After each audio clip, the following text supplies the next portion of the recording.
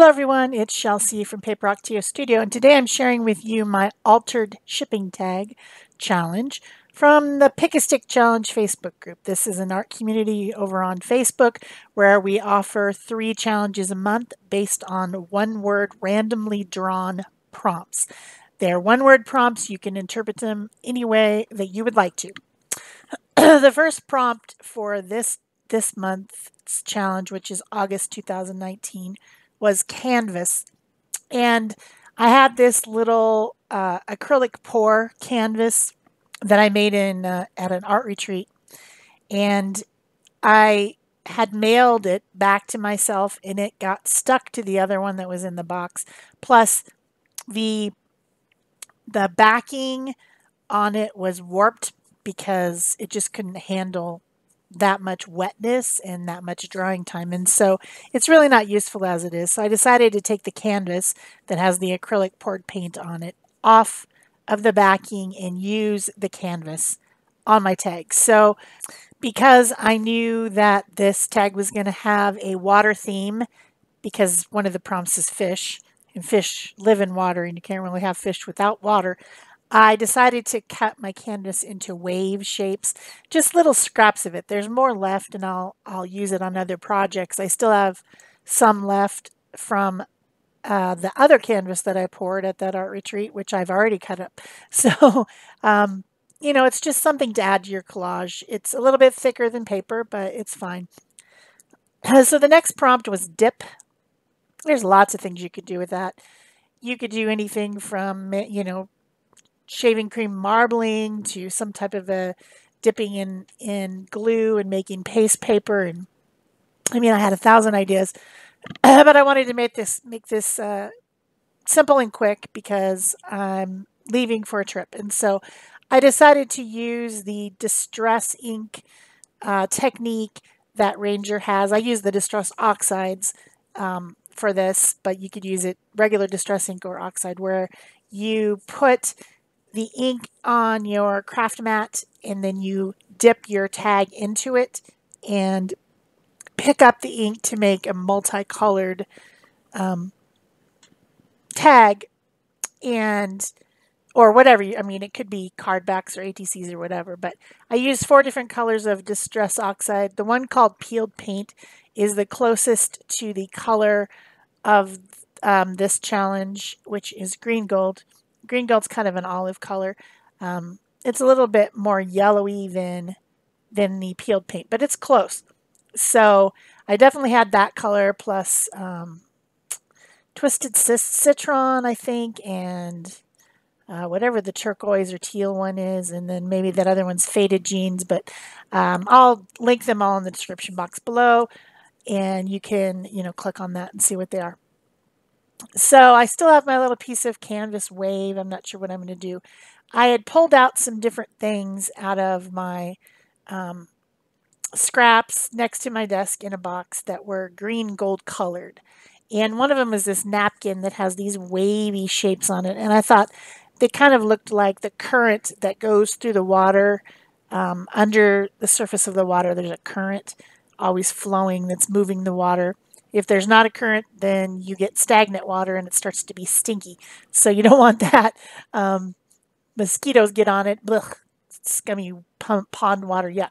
Anyway, water needs a current. So I decided to use the a couple little bits of this napkin um, and collage those down onto my tag to make some of that current looking pattern just for fun. They're the right colors and um, I need I wanted to have a lot of pattern and interest and um, just having the, those little canvas waves and a fish didn't seem like that much uh, that interesting so I decided to add some other stuff.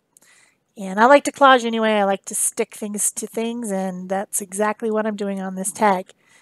I I got all these things that I'm sticking on literally from stuff that is just sitting on my desk in a in a bucket you know, plastic bucket is like, there's so much I could probably do the, my, um, all my challenges for the rest of the year on just using those buckets of stuff, or else I need to go through them and sort them and, you know, put all the pieces in color boxes, which is what I do occasionally, but I just haven't had time to do that. It's a, you know, something you just have to sit down and do, and I haven't had time. Um, so the next prompt was fish. And strangely, in that bucket, I had two stamped fish on a piece of cardstock from this stamp that I'm showing you right there on the right. That's a hand carved stamp, and I made it for another pick a stick challenge last year or something. Um, I think there it was something about probably about um, carve or stamp. I don't know. Anyway, I know I carved that stamp at some point, and I know that there's a project on my channel somewhere that has this fish used in it, and I will try to find it and link it um, in the iCard above or, or in the end screen at the end, if I can find it. I have, I don't know, it's probably getting close to 600 videos on my channel now, so sometimes it's hard to find stuff. I need to go through and weed them out and take some away, but I just haven't done that yet. Another thing I don't have time to do.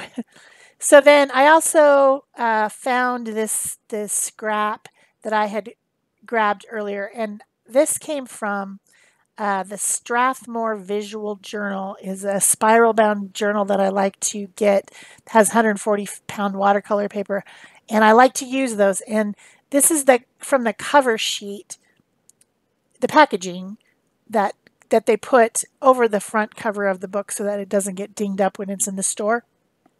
And I just kept it. I think it's kind of cute. I tore the part that has the Strathmore blah, blah, blah, whatever, blah, blah information on it. And I just kept the art. And I thought that it looked kind of nice with, you know, the same colors. Plus it has these kind of bubbly shapes. And I thought maybe this is towards the, you know, maybe it's the bottom of the water um, maybe some bubbles, maybe some rocks. I don't know. Anyway, I thought it looked cool, and it had the right colors, the teal and the the um, green goldish type color on it. So I stuck that on as well, and I'm now um, getting kind of some interesting looks on my tag here, interesting texture and color and shape. And I also had cut some of the canvas I cut two pieces of the canvas. One of them had kind of spiky waves and the other one had kind of curved waves. And I ended up putting that curved one up at the top. Then this little thing I'm sticking on, I don't know why I stuck it on there. I just thought it added to the composition. It's just for no reason at all. It's the right color and it's add, it's adding to the composition. I um I, I know that that's a die cut. It's like a background die cut that someone sent me. Um, already colored that color turquoise cardstock. And I've used up other pieces of it pieces of it recently, so you've probably seen it come across my desk recently when I've used different pieces because I just I think it's fun to take those those very interesting patterns and just break them up and use them in collage. I, I think that's it's a lot of fun to do that. So um, the last prompt that I needed to deal with. And remember, you do the prompts and you do them in order. There is a wild card. I didn't use it. It was smear. Um, I decided not to use it. The last one was staple. And on my my art journal page challenge this month, I took that to interpret being a staple that I something that I use like you always have flour and milk and eggs and bread. Those are staples in your kitchen. Um, I I used my Posca pins on that page as a staple in my studio. It's something I, I use all the time. It's a staple.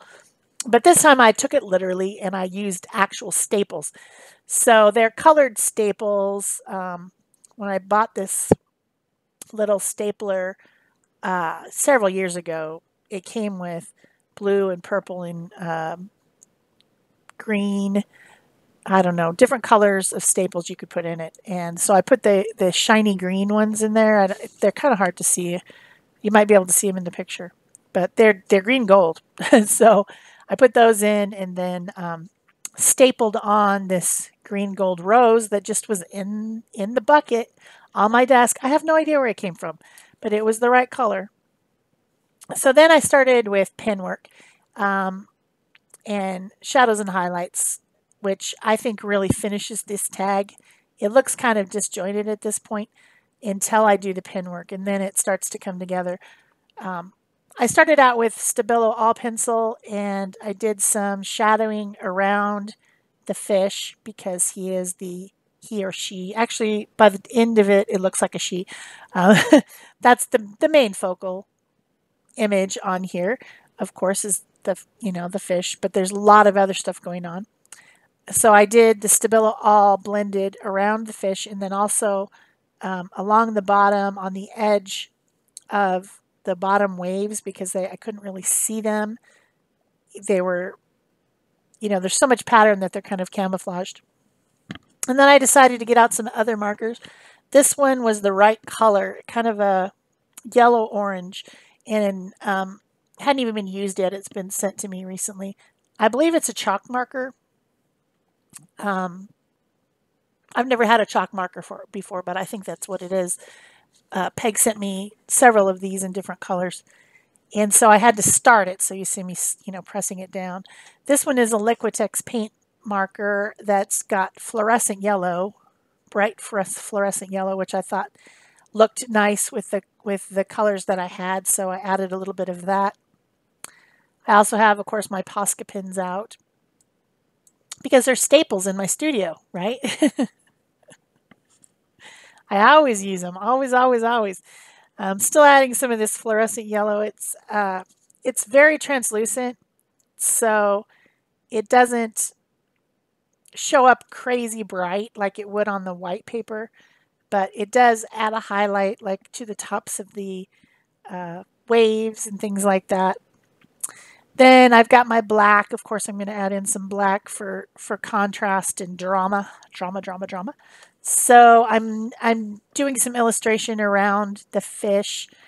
Uh, it's cute, stamped but it looks better if you do pin work on it, I think. It's kind of a weird looking little angler fish or something. I don't know what I was doing when I did it.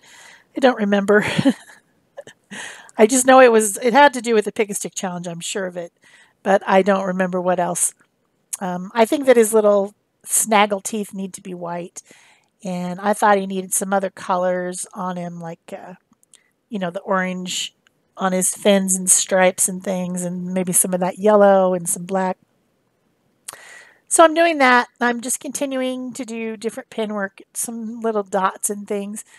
Um, I hope you're enjoying this, and if you are, please remember to give it a thumbs up. Leave me a comment or question below if you'd like to. Subscribe if you haven't already.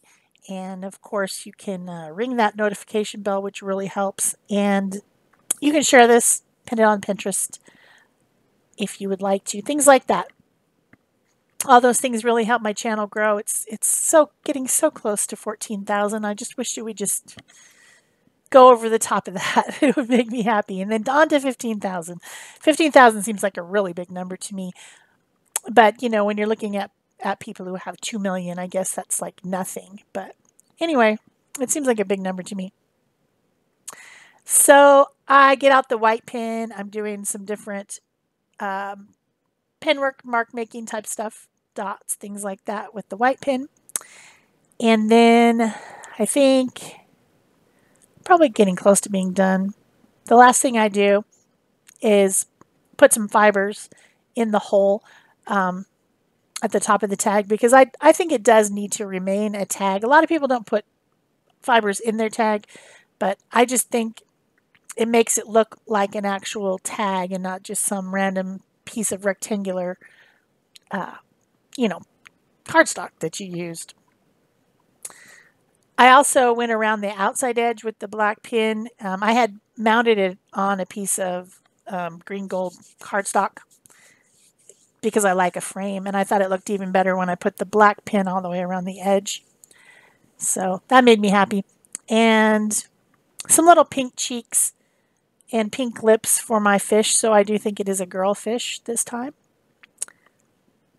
And I did add some of the orange paint to highlight the little flower that I had stapled on there. So here's the fibers. I've got some uh, one inch organza that's uh, kind of an olive green color, sage green color. I've got some black grow grosgrain to pick up the black in the composition. And then I have a piece of orange, yellowy orange, um, like yarn, knitting yarn, crochet yarn, which has some shimmery, sparkly stuff in it. So that's it for me for this tag. Thanks for watching. Bye-bye.